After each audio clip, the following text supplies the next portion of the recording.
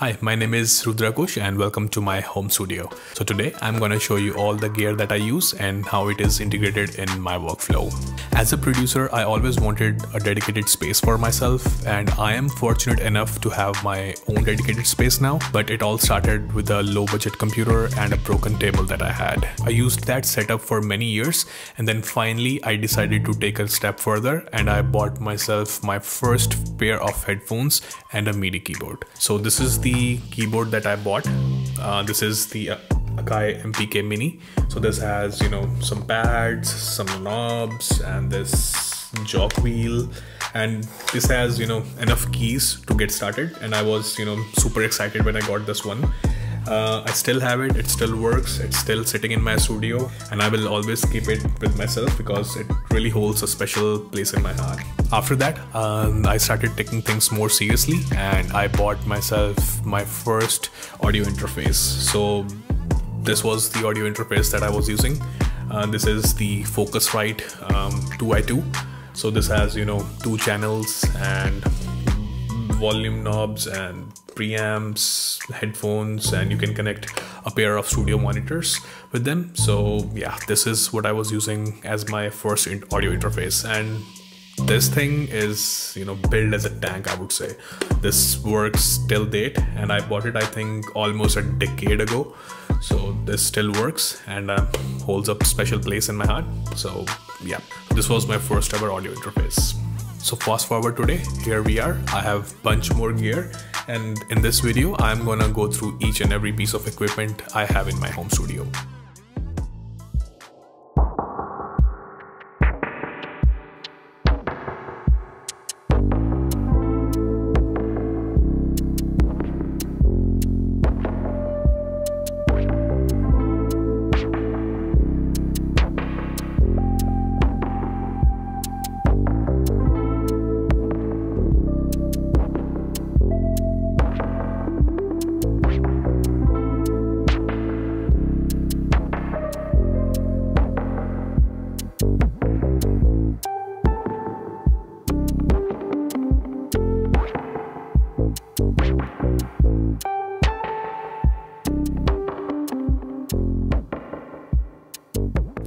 So I want to start with the heart of my setup, which is my computer.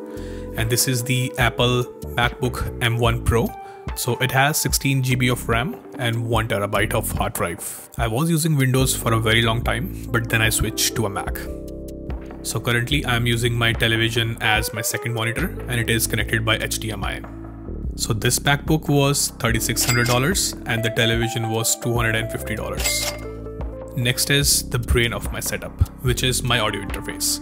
So I am using this Scarlett 18i20. So all the equipment is connected to my audio interface.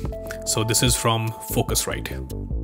There is two headphone jacks at the front. I can also control the volume of my speakers and I have two inputs at the front and six at the back. And the best part is you can check the levels of all of your inputs right at the front. The levels of each input can be controlled by these knobs. So the price of this interface was $900. Next, I have this microphone from Audio Technica. This is AT2020. I use this microphone to record all of my voiceovers for the YouTube, or I can record an artist if I need to. And this mic was for $153, and this vocal shield, it was for $80. Uh, if you're into vocals, you can use this, and this works great in an untreated room. Alright, so let's move on to all of my synthesizers. So as you can see, I have collected a bunch of them. I use them for different purposes in my music and also I like to do live jam. So yeah. And all this equipment is always connected to my Ableton so I can just record them at any time.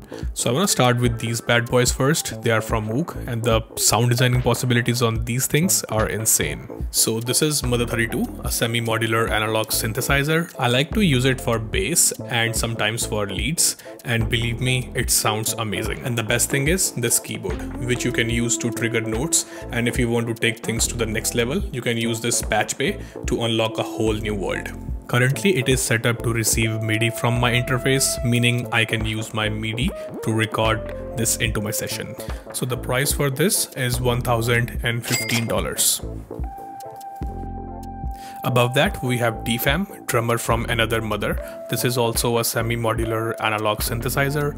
I use this mainly for percussions and to create groove in my music.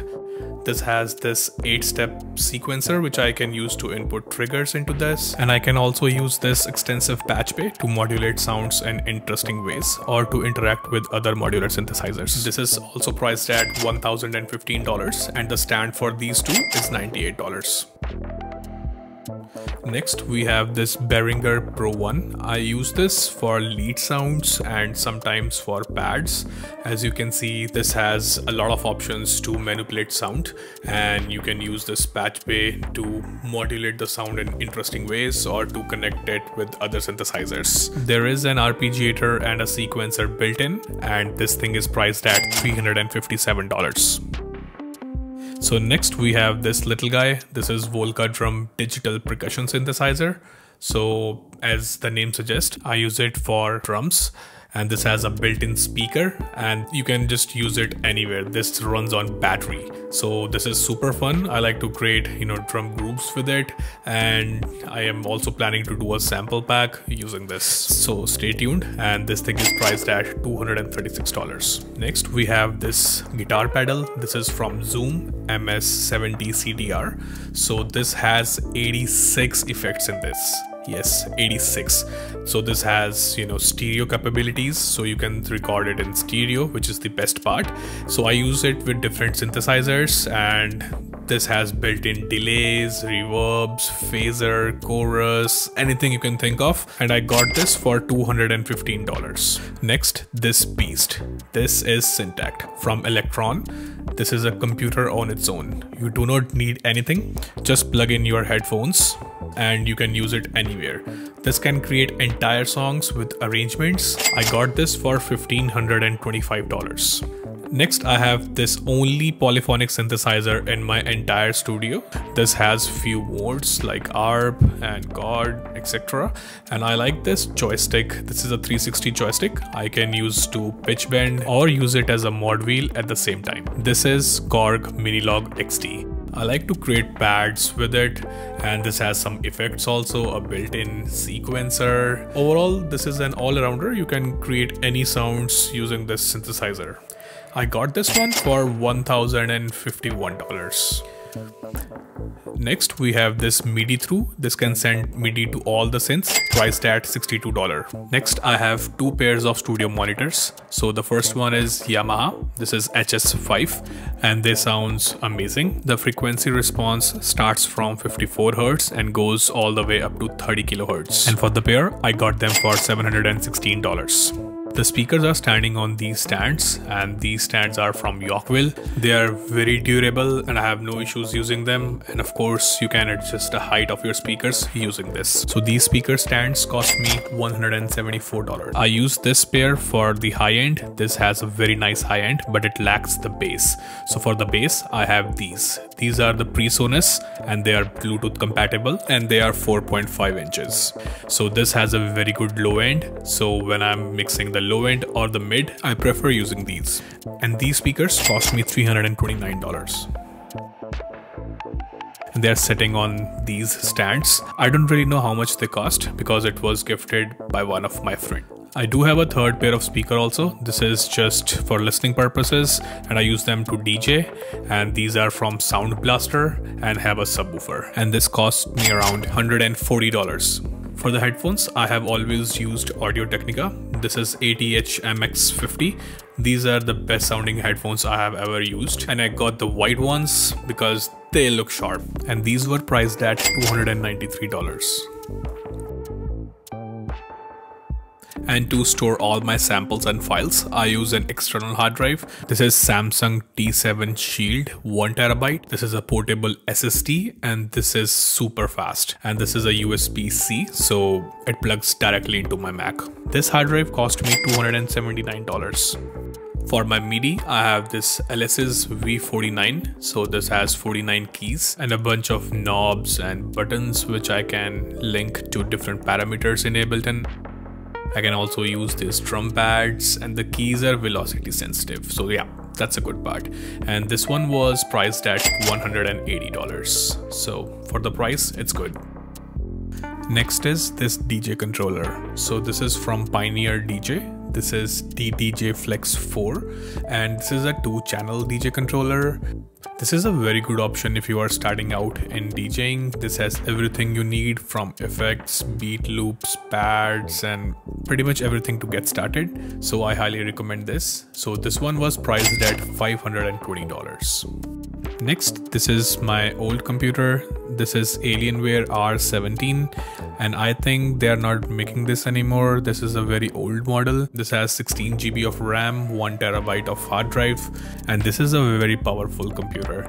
Um, I did use this for five years, I guess, and then along the way, I decided I wanted to switch to a Mac, so I bought my MacBook Pro. This computer I'm only using to DJ because I don't want to move my MacBook every single time to the other table, so I'm using this to basically learn how to DJ. I got this computer for $3,300. For the chair, I use this gaming chair. You can easily find them on Amazon. This one is old, so the cushion is tearing out. And I think I got it for $127. I always get a ton of questions about my desk. Uh, this is a custom build, so the top is an IKEA tabletop, and this is priced at $139, and I got this in oak finish. And this small table is separate, which I bought from Amazon, and this countertop is sitting on these two IKEA drawers.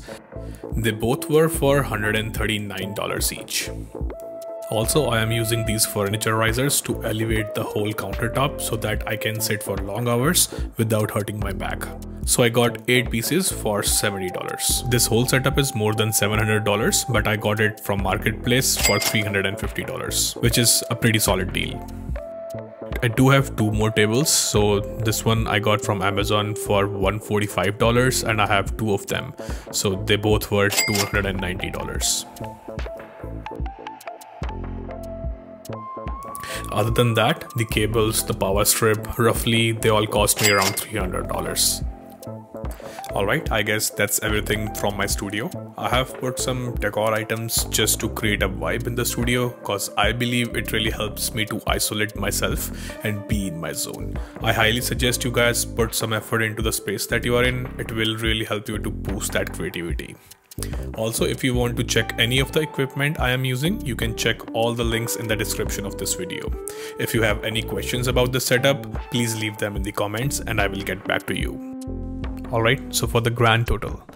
The grand total of my studio is $17,198. One thing I want to tell you is in order to make good music, you don't need all this gear, especially in the beginning. You can definitely make good music with just a laptop and a headphones. This setup I have built over time and this took me around 5-6 good years I guess. But your studio is never really finished I guess. I mean it will grow with you over time. So keep learning and keep growing. I guess that is it for this video and once again all the links are in description and if you have any questions you can leave it in the comments. So yeah thanks for watching. I will see you in the next one. Peace.